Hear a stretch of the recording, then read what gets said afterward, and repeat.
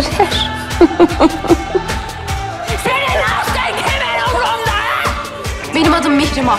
Ben affetmem.